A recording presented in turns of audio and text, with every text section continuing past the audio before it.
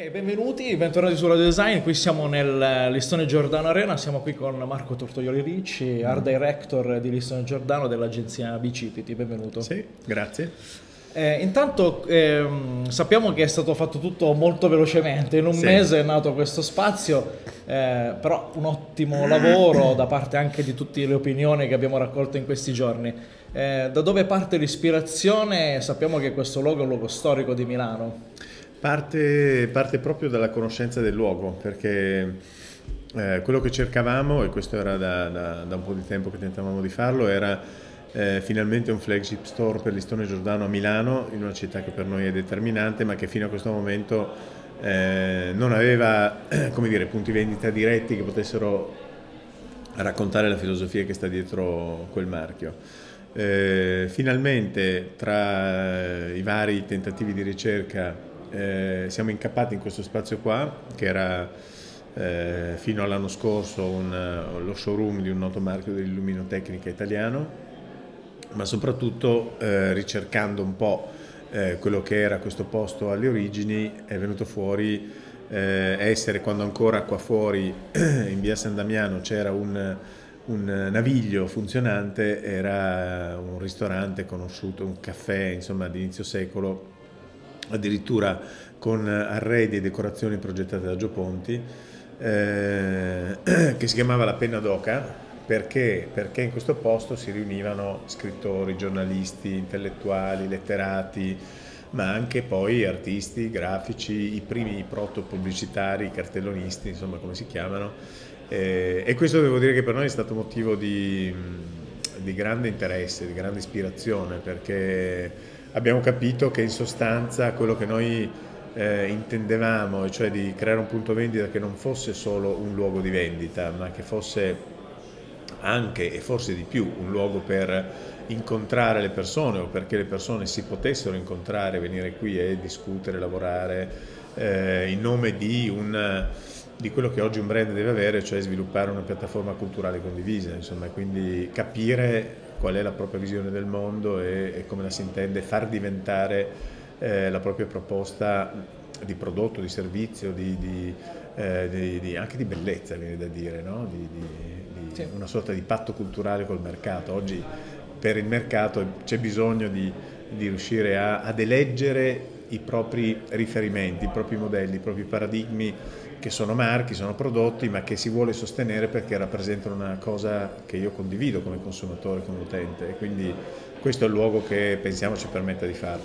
Mi ho detto anche che qui è partito il futurismo con Marinetti. Allora, sì, eh, è in quella Milano lì, quindi non solo in questo posto, ma è sicuramente eh, questo uno di quei posti in cui i futuristi hanno cominciato a interpretare proprio, eh, la propria volontà anche dirompente, tant'è che il nome Arena ehm, ci è sembrato convincente da affiancare Listone Giordano perché storicamente l'arena nasce come il luogo del gioco, della sfida, della battaglia, eh, ma allo stesso tempo come luogo dell'intrattenimento, cioè, nell'antica Roma si giocava eh, anche fino alla morte ma per intrattenere un pubblico.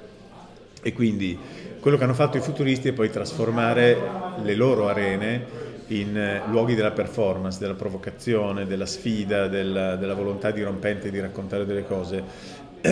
con la poesia l'hanno fatto col paroliberismo, con l'arte, con la tipografia. Eh, non ci dimentichiamo che De Pero è stato uno dei primi artisti prestati al mondo della comunicazione, al fatto che eh, da lui viene anche il disegno della bottiglietta di Campari eh, che i primi manifesti esposti in una Milano in grande formato sono dovuti a lui, alla volontà di, con la pubblicità, di portare l'arte nelle strade, tra la gente, quindi con una dimensione eh, provocatoriamente popolare, quando fino a quel momento l'arte era un fatto d'elite. Dicevi prima che a livello di corporate identity questo rappresenta un po' uno spin-off rispetto alla sì. linea diciamo, principale del sì. brand Listone Giordano. Sì, sì, Listone Giordano è un brand system che oramai dal 2015 ha dire, eh, vissuto e si è evoluto nella sua seconda generazione. Il progetto Listone Giordano nasce in realtà molto prima, nasce nel 96, eh, ha avuto una lunghissima stagione di grande successo, ma nel 2015 con eh, il progetto del nuovo layout punti vendita e, e del, dell'aggiornamento del brand system ha, ha, vissuto una seconda generazione, molto più eh, vicina a raccontare il mondo che sta dietro il marchio. Eh, eh, detto questo, quando, quando hai l'occasione di poter lavorare in un luogo che ha una forte identità propria, che sta in una città che è fortemente paradigmatica dal punto di vista del design, abbiamo capito che era il momento di inaugurare quello che per molti grandi brand è già un'abitudine, eh, e cioè di avere delle eh, avventure spin-off rispetto alla piattaforma di branding principale che sia più specifica e quindi quello che succede qua dentro è che il marchio Listone Giordano, il brand Listone Giordano diventa un mondo fatto da una galleria di immagini che ha come riferimento le avanguardie, che ha come riferimento i primi movimenti eh, dei cartellonisti di inizio Novecento italiani eh, e che produce una sorta di eh, imagerie de Pinal eh, d'avanguardia in sostanza, quindi una collezione che muterà in, in modo continuo, incessante. Eh, devo dire che se io non avessi lo studio che ho alle spalle con un gruppo di ragazzi super talentuosi che ha grande entusiasmo, Francesco che è un po' l'art director che, che, che guida le operazioni creative ma con un entusiasmo collettivo che ci permette anche di buttarci in avventure che, che poi hanno poco tempo perché certo. cioè, adesso io te lo posso dire ma fino a due settimane prima dell'inaugurazione l'identità visiva di Storia Giordano Arena non esisteva eh, quindi... infatti è stato fatto tutto molto velocemente quindi immagino il delirio in agenzia e, per... e quindi insomma è stata una, veramente una corsa collettiva per riuscire a produrre qualcosa perché eh, che fosse riconoscibile, forse fortemente identificabile, perché abbiamo capito che in questo caso l'identità visiva, al pari di altri atti progettuali che in questo posto coesistono, eh, diventa un asset centrale perché parla alla città, cioè certo. parla alla città di questo luogo.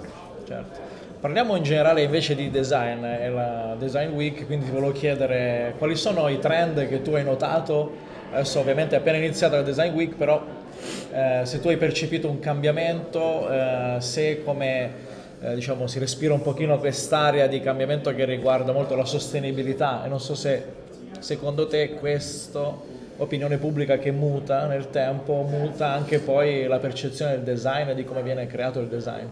Ma allora, in generale eh, ti dico che ehm, eh, per tutto quello che riguarda il mondo, l'economia che, che è legata al design e poi provocatoriamente eh, è stato quattro giorni fa Mario Bellini eh, che diceva proprio attenzione perché tutta l'economia contemporanea sul design si basa sulla, eh, diciamo, sull'uso incondizionato di questa parola, che è una parola che in realtà ha tante voci diverse, tante accezioni diverse, no? perché eh, in realtà dovremmo tradurla come progetto, se noi la traducessimo dall'inglese, in realtà oggi parla di molte altre cose e di, mo- e di molto di più. Eh, quello, che, quello, che, si vede oggi è che accanto al tema della sostenibilità che tu dicevi c'è un'altra parola chiave che è autenticità. Cioè, quello che succede è che oggi non si può più fare design semplicemente volendo esteticamente vestire qualcosa. Cioè non ci può essere più solo un design estetico. Non è più quell'idea del design che rendeva belle le cose, o esclusive, o costose eh, oggi il design è più che altro un, deve essere un impegno complessivo per un'azienda. Cioè si può fare design se si pensa di agire in quell'ottica, volendo raccontare delle cose, altrimenti si può soldare un bravo disegnatore ma non parlerà di te. E oggi il consumatore questo non lo tollera più. Oggi una manifestazione come questa, basta andare in giro per le strade, è una manifestazione in cui viene tutto il mondo, tutto il mondo viene perché oggi grazie a internet, grazie alle tecnologie, grazie a una sorta di grande networking globale, le informazioni circolano e si va a cercare i racconti più credibili. Non si va a cercare le cose necessariamente più originali, ma i racconti credibili che hanno, eh, che hanno una proposta per il pianeta. Possiamo usare dicendo che ormai i brand devono essere partigiani in, qualco, in qualche modo. Se prima il brand doveva rimanere autonomo, un pochino flat, adesso invece deve eh, abbracciare un'idea, un, un, diciamo, un, impegno che riguarda qualcosa. No, no, ma io devo dire che eh, visto che parlavamo di maestri prima, io faccio riferimento a un altro maestro che è Enzo Mari, che, che è uno dei grandi nomi che ha segnato il dopoguerra italiano e, e il design degli anni 60, 70 fino agli anni 80. E, e, e lui era una persona che, che, che dice eh, non si può fare un design non politico. Certo.